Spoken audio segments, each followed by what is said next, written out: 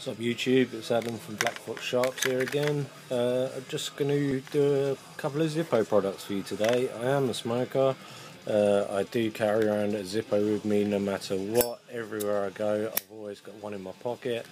Uh, I do carry an EDC bag and I've usually always got a can of gas in there because that's just the way I am, I like to be prepared. I love Zippos. I've always liked them. I have got quite a few. That's just the way it is. So I am uh, a pro Zippo person, and I've got a couple of Zippo things that I've received quite recently. One for Christmas, one just before Christmas. And I thought I'd do a little review for them. The first one I'm going to do is one I got for Christmas. My girlfriend got it for me, which was very kind. And it's the Zippo Starfighter uh, Fire Starter Kit. It's it's something I hadn't actually seen. Uh, so I was pretty impressed when I opened it up and I saw exactly exactly what it was. It is, as it says, a fire starter kit. It's from their outdoor line. Uh, they have got some good stuff on that outdoor line. I just hadn't seen this. So when you know when this came, I was pretty impressed. It's it looks like a normal Zippo. Well, maybe a bit different. It looks a bit like the the the the uh, the butane Zippo they do.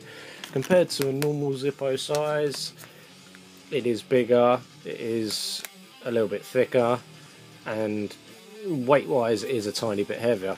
But it is pretty cool for what it is. It has got this kind of O-ring style rubber going all the way around to uh, to make it waterproof. So if once you put that down and give it a good good close, that is now waterproof. I wouldn't put it in the bath or anything like that, but as as far as um, you know, in raining, that kind of thing, it's not going to get wet.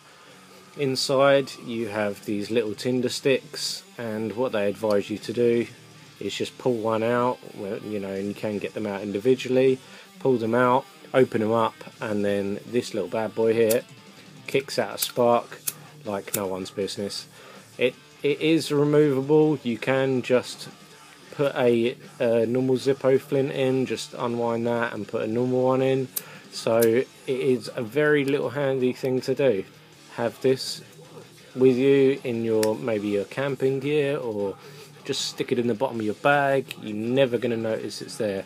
It's not like you can light a cigarette from it, but if you're that desperate to light a fag, I'm sure you can ask someone to borrow theirs. So that's pretty much all the information I can give about this. The tinder sticks are available from the Zippo uh, stockists.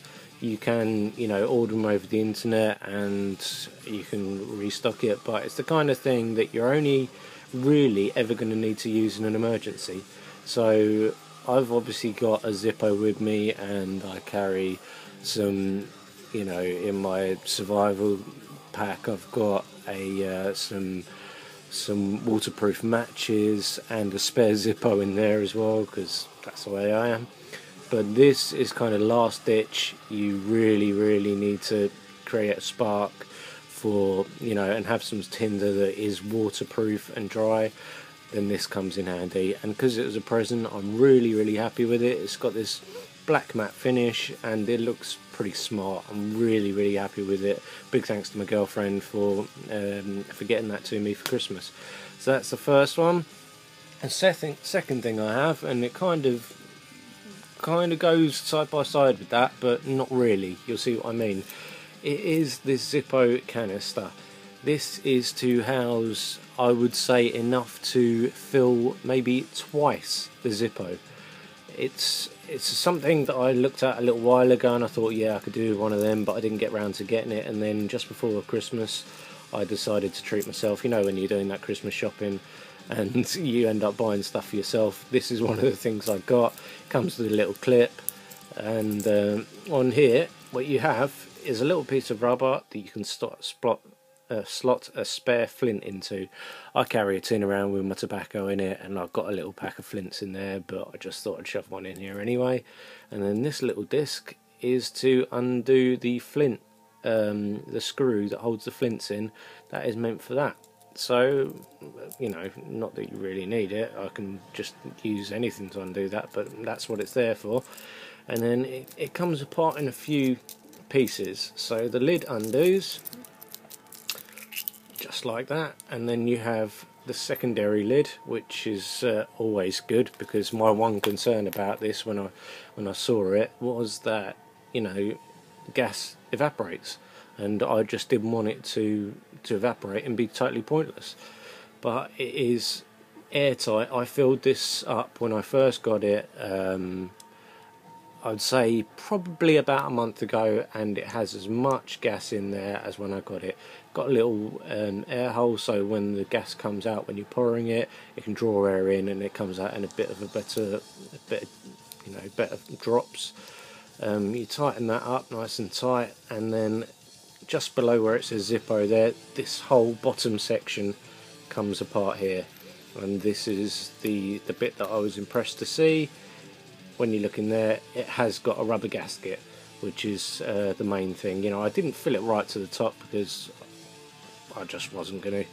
But uh, it has got a rubber gasket. It does seal down really tight, um, which is always nice. Uh, really impressed with this little thing. I can't see me ever really getting to the point where it runs out because, like I said earlier, I do carry uh, a tin of gas around with me should that tin of gas run out, then yeah, okay, maybe I've got this. But I am pretty regular with filling up my lighters anyway because, like I said, I'm a smoker. And uh, once you do that up, the only gripe I have about it is when you put this lid on and do it up, because you've got the two moving parts that screw down. You've got this middle Zippo section that tightens down to the main body and the lid that tightens down to the Zippo section. When you're trying to undo the top bit, if you haven't if you've over tightened the top bit and the bottom section's not quite tight enough, you end up just taking the whole thing off and then you have to screw it back on, you get gas on your fingers um, and then screw the bottom, you know, the whole thing back on really tight and then the top does come undone does come undone. But the one thing I will say if you do get one because you've got this secondary um, little cover here you don't need to screw this piece on quite so tight but I, I, I soon learned that especially just before doing this video when I really couldn't get it off. But there you go. That's about it. It's uh, it's not expensive. I think I paid about a tenner or something like that for it. And for what it is it's invaluable. I, I always like having gas on me because, uh, well, I don't need to explain that. So between the two, I love Zippo. I've got, you know, numerous amounts of lighters. All their products seem to work and are good. So if you are looking at either of these products, then I would recommend them totally. Hope everyone's alright. Thanks for watching. Cheers. Bye.